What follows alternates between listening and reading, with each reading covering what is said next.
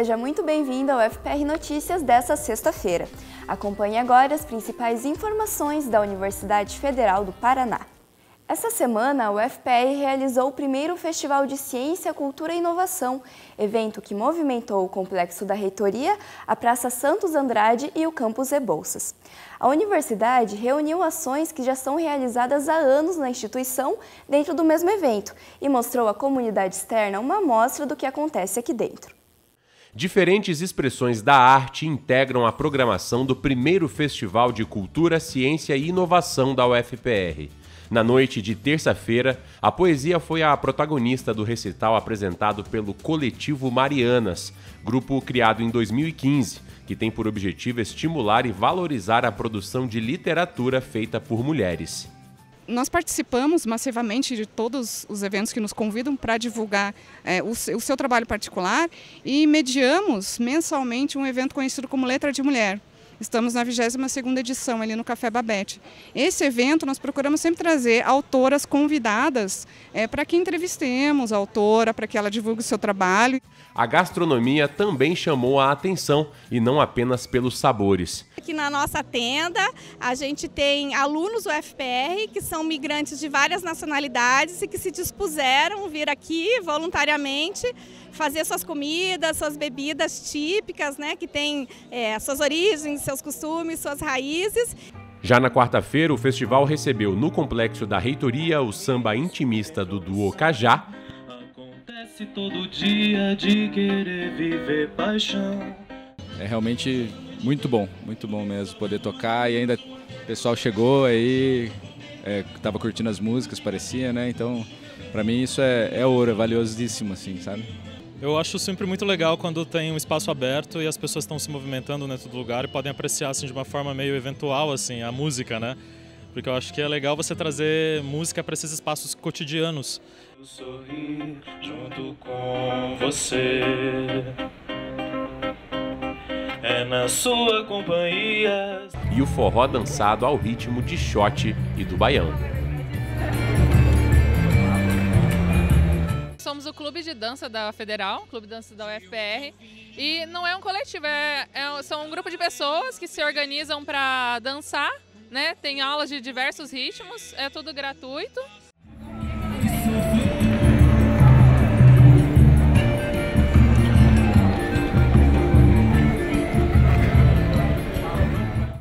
Muita arte, cultura e também oportunidade de negócios. Ainda dentro da programação do festival, um evento promovido pela Agência de Inovação reuniu estudantes, profissionais e empreendedores para discutir ideias e tirar novos negócios do papel. O UFPR vai lá e faz. Esse evento ele foi criado para pessoas que querem fazer acontecer, querem tirar sua ideia do papel e estão buscando um caminho para isso.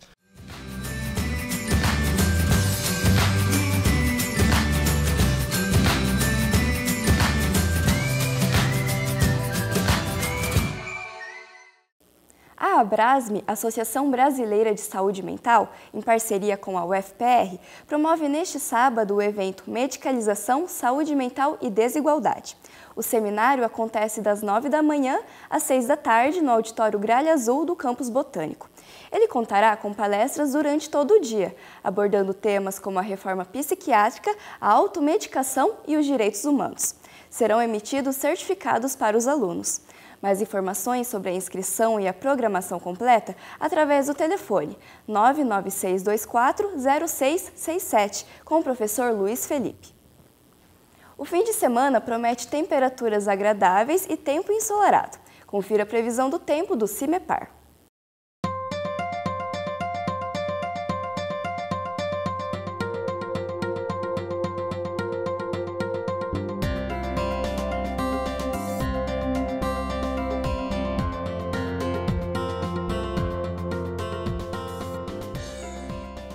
A sexta-feira chega com estabilidade, muito sol e tempo seco por todo o Paraná.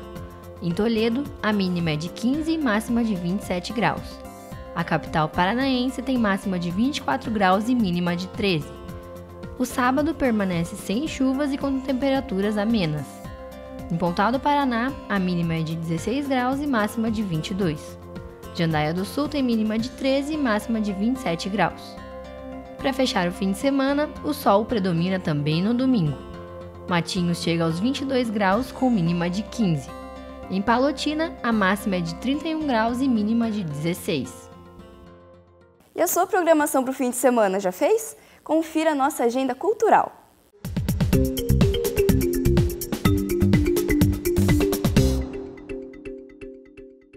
Nesta sexta-feira, o Madrigal da UFPR apresenta o espetáculo Pedaços, na Capela da Reitoria.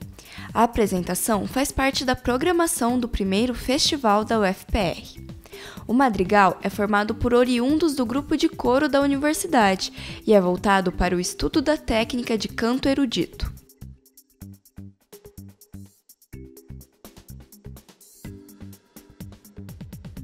E também como atração do festival da UFPR, a Tessera, Companhia de Dança, estreia o espetáculo 7. As apresentações serão na sexta e no sábado, 9 da noite, no Teatro da Reitoria. A Tessera é um dos grupos artísticos mais conhecidos da universidade e há 38 anos desenvolve espetáculos de dança moderna. Nesse fim de semana, o Balé do Teatro Guaíra e a Orquestra Sinfônica do Paraná apresentam o espetáculo Carmen, uma das obras mais famosas do mundo. Carmen conta a história de uma mulher livre, assassinada pelo companheiro cego de ciúme. Os ingressos custam 10 e 20 reais. No início dessa semana, o governo federal anunciou o desbloqueio de verbas para o Ministério da Educação e outras pastas no valor de 8,3 bilhões de reais. Desde abril, as universidades públicas brasileiras sofreram sucessivos cortes em suas verbas de custeio, o que gerou perdas na pesquisa, no ensino e na extensão. Esta manhã, a reitoria da UFPR liberou uma nota sobre a decisão. A Universidade Federal do Paraná, UFPR, está ciente da publicação do decreto que estabelece o descontingenciamento de verbas do MEC, publicado em 26 de setembro de 2019 no Diário Oficial da União. A UFPR enxerga com otimismo a publicação do referido decreto e comunica que irá se pronunciar oficialmente quando houver conhecimento do valor destinado à instituição, pois somente assim poderemos saber o percentual orçamentário recomposto e o impacto nas contas de 2019. A UFPR salienta que até este momento não tem contas atrasadas. Divulgada nesta sexta-feira, dia 27, a normativa altera o decreto número 9711, de 15 de fevereiro de 2019 dispõe sobre a programação orçamentária e financeira e estabelece o cronograma mensal de desembolso do Poder Executivo Federal para o exercício de 2019.